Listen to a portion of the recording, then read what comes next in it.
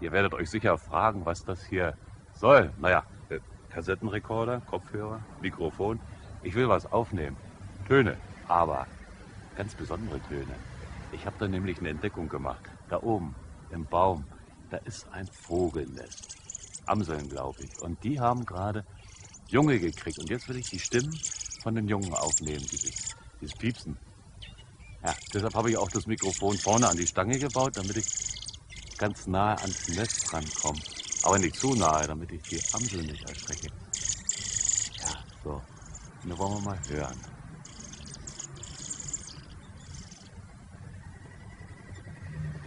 Das ist ja scheußlich. Was ist, was ist denn das für ein Lärm? Wo kommen wir her?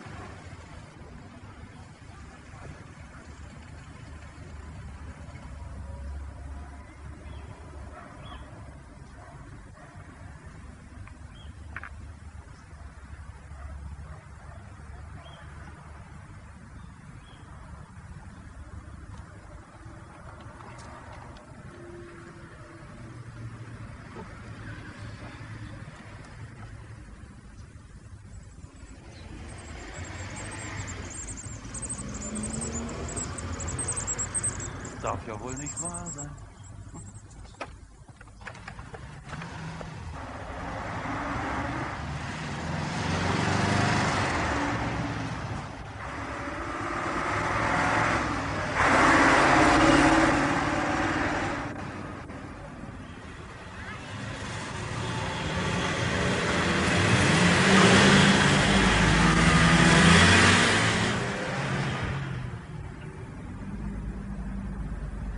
Karl!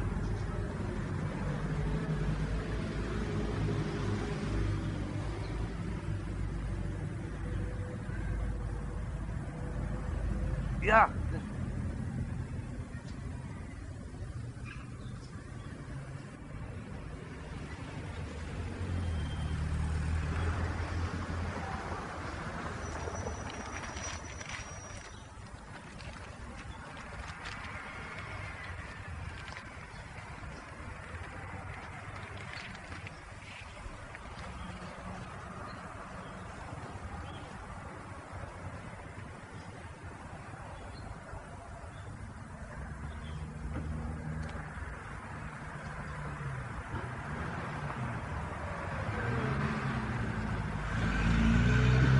Der Arme. Na, da kann ich ja wieder.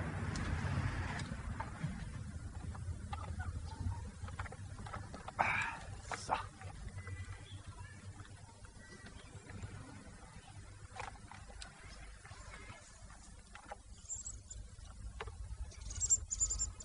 Das ist ja. Das ist, ist doch nicht möglich.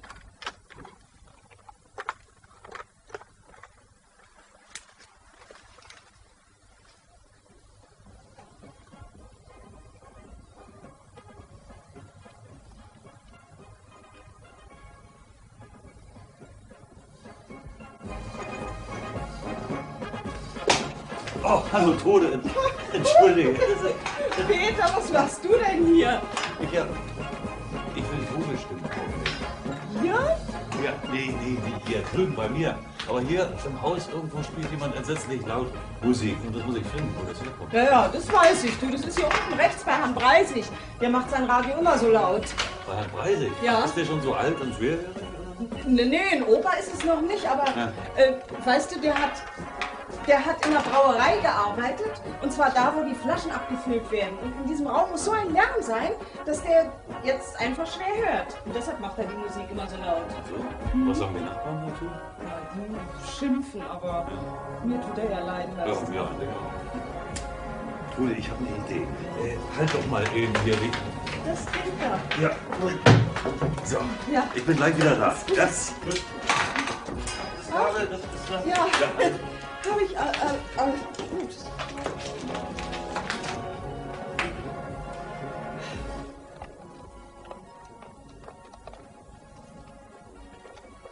So, Ah, Was hast du denn da, Peter? das hier, ja, das schon sehen.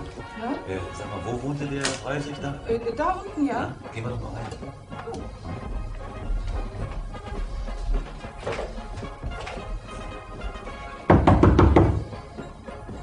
Hallo?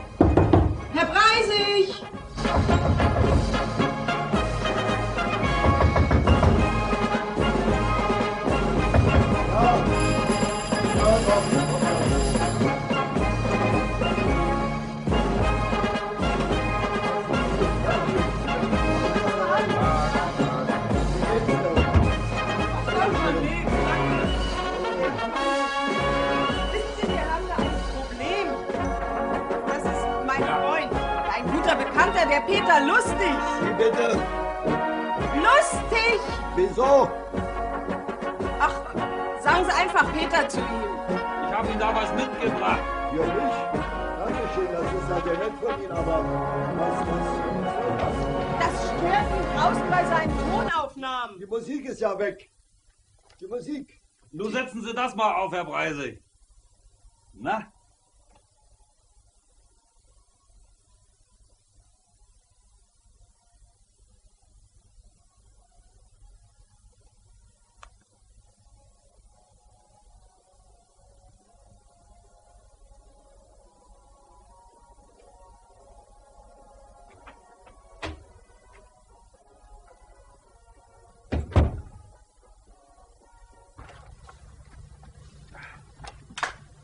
Aber jetzt.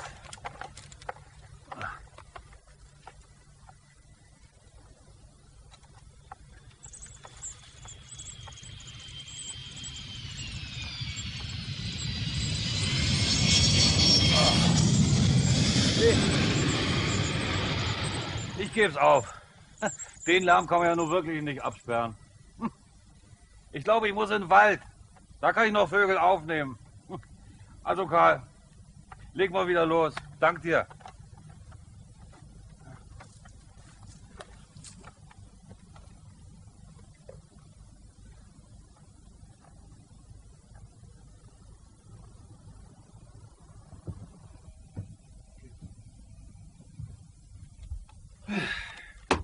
Nee, das war nix. Das war einfach zu laut. Es ist überall zu laut. Man hört ja überhaupt keine Ampeln. Was habe ich denn da überhaupt gehört? Ja, Verkehrslärm und dieser, das Lufthammer.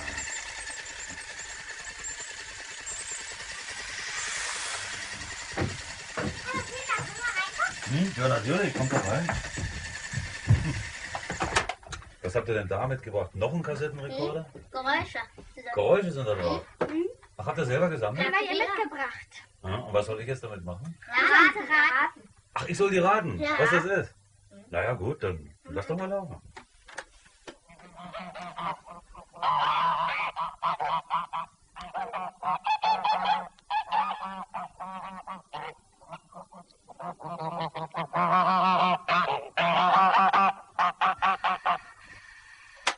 Tja, was kann denn das sein? Äh, ein paar verrostete Trompeten. Nee. Nein? Hm. Ein alter Kinderwagen. Aber es hat so gequietscht. War, war es ein Tier? Bauernhof. Auf dem Bauernhof, also ein Tier. Sie. Tier. Ja. Nee. Hühner, Nein, nein, Enten, nein. Ganz nah. Gänse. Ja. Prima. Ja, das habe ich rausgekriegt. So, dann mal das nächste.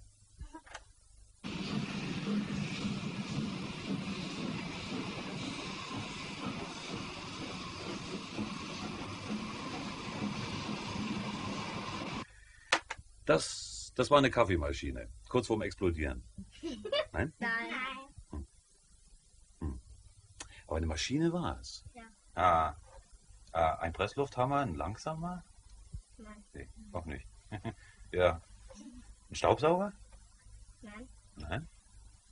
Äh, aber es hat so gezischt. Moment mal, es hat gezischt. Da könnte also Dampf im Spiel sein. Das könnte eine, eine Lokomotive gewesen sein. Eine Dampflokomotive. Ja. Ja. Aha, ich hab's erraten. Gut, das nächste.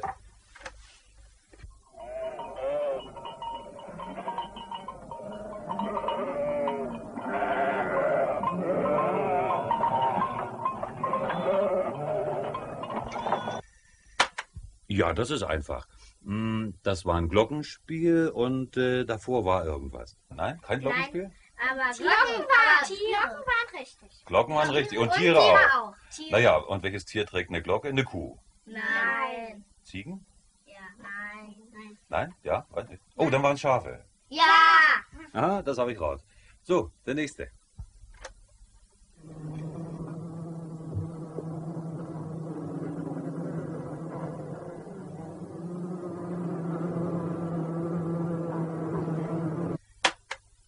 Oh, das ist aber schwer.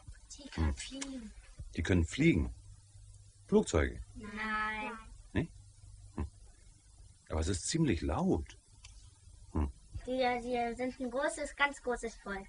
Ja. Ein großes Volk, was fliegt. Kenne ich nicht. Manchmal sagen sie auch was. Ach, das sind Tiere. Piken. Piken, ja. Mücken. Nein. Das tut gemein weh, wenn sie pieken. Na, das können natürlich Wespen oder Bienen sein. Ja, Bienen. Bienen? Ja. Ah, das war's also. Na gut. Habt ihr noch was? Ja? ja. Gut. Und das letzte.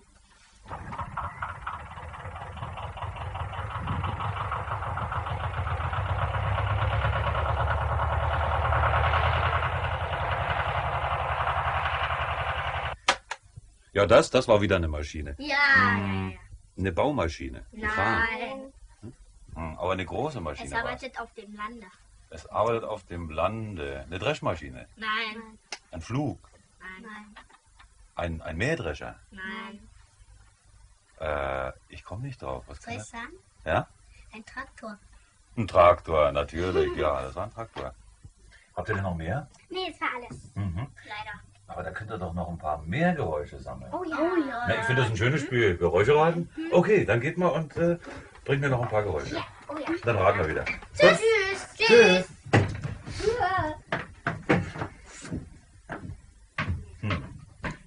Das äh, könntet ihr übrigens auch mal machen. Greift euch einen Kassettenrekorder und geht mal raus und sammelt Geräusche. Irgendwelche Geräusche. Und die anderen müssen es dann raten.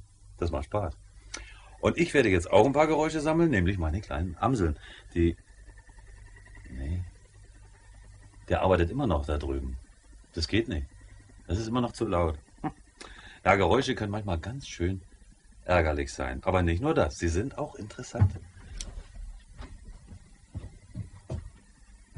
Dies Geratter. Es ist überhaupt nichts zu sehen, aber ich weiß genau, aus welcher Richtung der Schall kommt. Nämlich von da.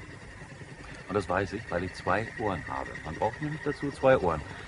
Der Schall kommt ja von diesem Presslufthammer und äh, trifft zuerst auf dieses Ohr. Und dann, weil er ja ein bisschen Zeit braucht, etwas später und etwas leiser auf das Ohr.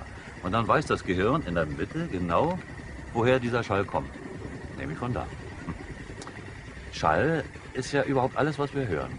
Stimmen, Geräusche, Klänge von Musikinstrumenten, Töne, Lärm, Krach, Donner, alles ist Schall. Und Schall entsteht mal dann, wenn irgendetwas ganz schnell schwingt.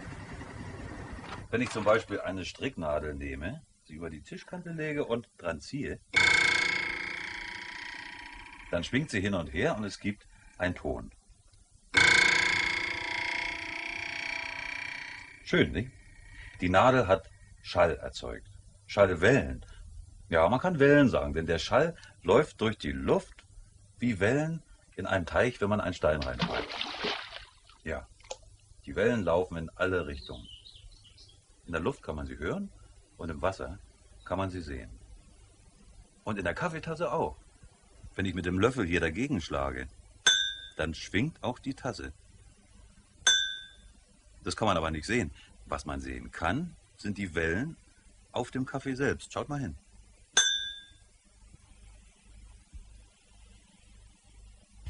Ich habe doch hier irgendwo ja, eine Stimmgabel. Wenn man die anschlägt, dann gibt es ja einen leisen Ton. Na, dann müsste doch auch schwingen. Seht ihr was? Nee. Aber da können wir doch wieder unseren Kaffeetrick ausprobieren. Mal sehen. Ja, habt ihr gesehen, wie es spritzt? Sie schwingt tatsächlich. Aber sie ist sehr leise. Ja, da weiß ich aber wieder einen Trick. Wenn man nämlich jetzt die Stimmgabel auf den Tisch stellt, ah, da ist es schon sehr viel lauter. Weil nämlich jetzt die Schallwellen von der Stimmgabel in die Tischplatte gehen. Jetzt schwingt der ganze Tisch und funktioniert wie ein Lautsprecher. Nochmal. Ja, ein schöner Ton. Wenn nun der Schall von der Tischplatte durch die Luft an mein Ohr kommt, dann könnte ich doch eigentlich gleich meine Ohren auf den Tisch legen und dann würde ich viel besser hören, was auf dem Tisch vorgeht. Ja, zum Beispiel das hier. Das ist ziemlich leise. Aber jetzt. Ja, viel lauter. Das heißt also, dass der Schall durch feste Sachen viel besser durchgeht. Durch Holz, durch Eisen und durchs Wasser. Wenn ihr mal unter Wasser in der Badewanne die Ohren aufsperrt, was ihr da alles hört. Und dann gibt's ja noch die Geschichte von den Indianern, die ein Ohr auf die Schienen legten und dann Züge hören konnten, die noch ganz weit weg waren. Die mussten natürlich ihren Kopf ziemlich schnell wieder wegnehmen, wenn der Zug. Eieieiei. Da könnte ja was passieren. Was ist denn nun los? Der spinnt ja. Ich bin doch schon auf. Was soll denn das? Das, das ist auch so ein Problem. Wie bremst man Schall? Hm? Ist doch viel zu laut. Ah, einmal drüber. Nee, ist noch lauter. Weil der Schall ja noch besser durch feste Sachen durchgeht. Ah, was Weiches. Ja, mal sehen. Ja, das hat funktioniert. Weiche Sachen bremsen den Schall. Ah, ist das schön ruhig. Ja, so müsste es immer sein. Jetzt könnte ich sogar meine Amseln aufnehmen. Ja, warum eigentlich nicht? Ja, was ist denn nun schon wieder los? Was soll denn der Lärm nun schon wieder? Also wirklich. Ah, nee, jetzt habe ich die Nase voll.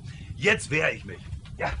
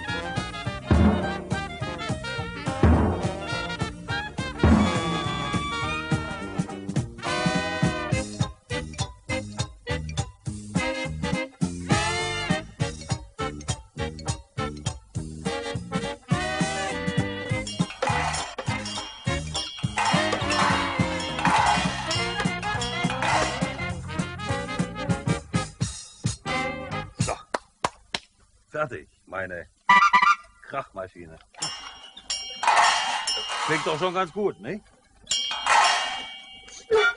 Ja, einfach so, Krachmaschine.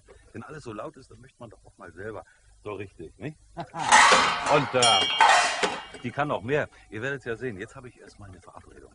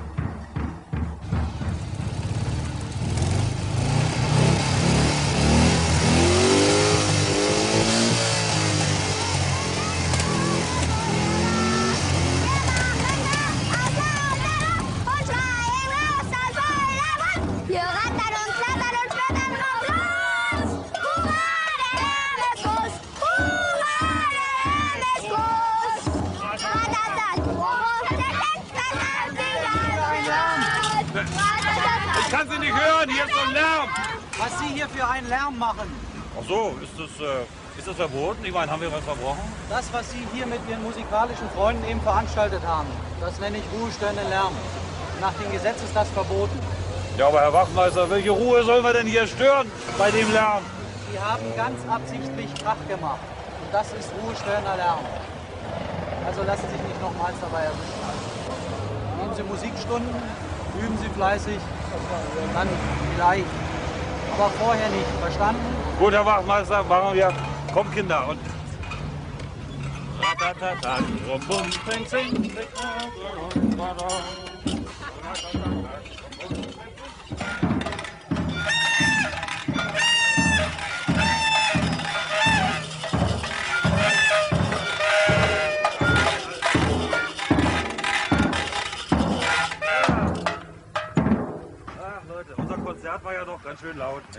Naja.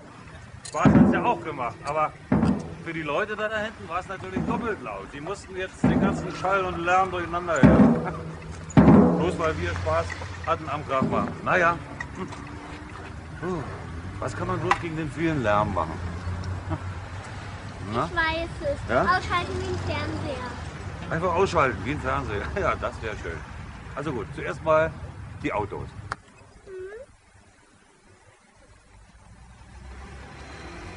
Und Mopeds und Motorräder aus. Alle Maschinen und Kräne auf den Baustellen aus.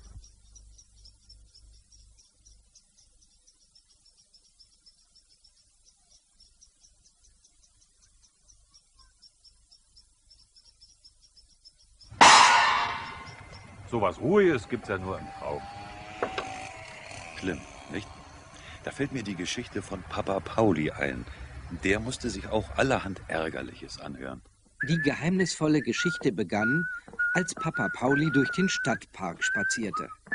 Er pfiff ein lustiges Lied vor sich hin, wie man das tut, wenn man guter Laune ist, und dachte an nichts Außergewöhnliches, als plötzlich etwas Außergewöhnliches geschah.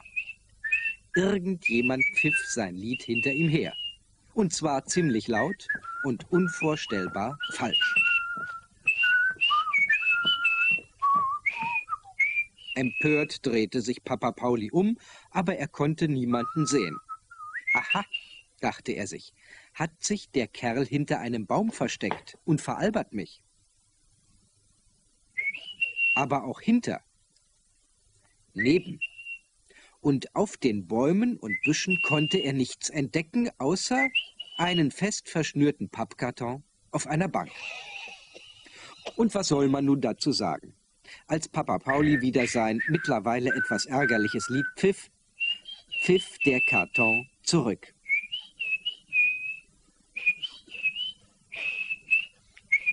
Aha, überlegte Papa Pauli, wird wohl ein pfiffiger Spaßvogel drin sein, und er hob den Karton vorsichtig hoch. Da machte der Karton ein so furchtbares Gebrüll wie ein zwölf Meter großer Löwe, den man auf den Schwanz tritt.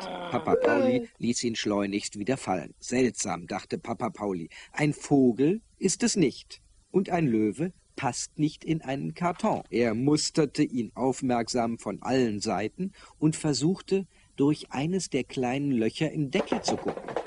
Da hüpfte der Karton ans andere Ende der Bank und aus seinem Inneren ertönte nacheinander ein Pfiff, ein Brüllen und zuletzt ein höhnisches Gelächter. Verflixt, sagte Papa Pauli und kratzte sich nachdenklich am Kopf. Und der Karton sagte und hüpfte einmal kurz in die Höhe. Kurzum, dem Papa Pauli wurde die ganze Geschichte zu merkwürdig und auch ein wenig peinlich, weil nämlich ein Parkwächter des Weges kam. Er wollte gerade unauffällig davonspazieren, als der Karton laut plärrte, worauf der Parkwächter Papa Pauli den Karton hinterherbrachte und sagte, Hallo, Sie haben Ihren Karton vergessen. Papa Pauli klemmte den Karton unter den Arm, bedankte sich höflich und beschloss, auf all den Schrecken erstmal einen Beruhigungsschnaps zu kippen. Der Karton fand diesen Entschluss ebenfalls sehr vernünftig und pfiff zufrieden.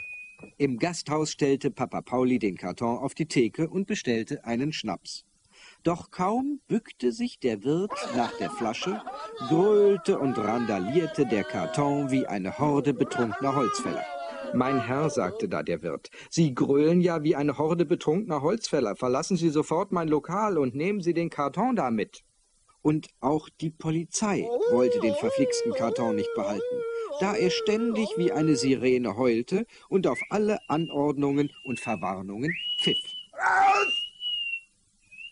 Ja, selbst im Postamt wurde Papa Pauli seinen komischen Karton nicht los. Denn der Beamte wollte kein Schnellpaket nach Australien annehmen, das ständig Kuckuck schrie und sonstige Beamtenbeleidigungen.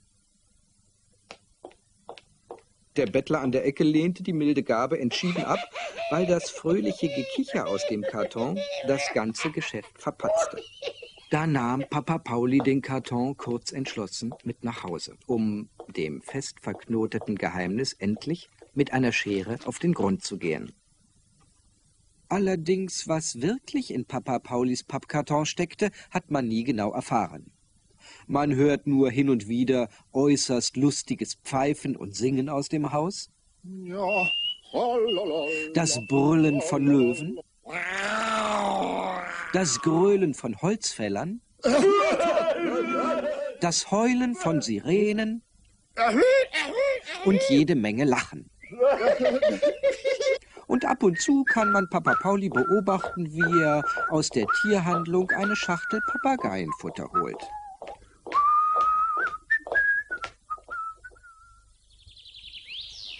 Apropos Papagei.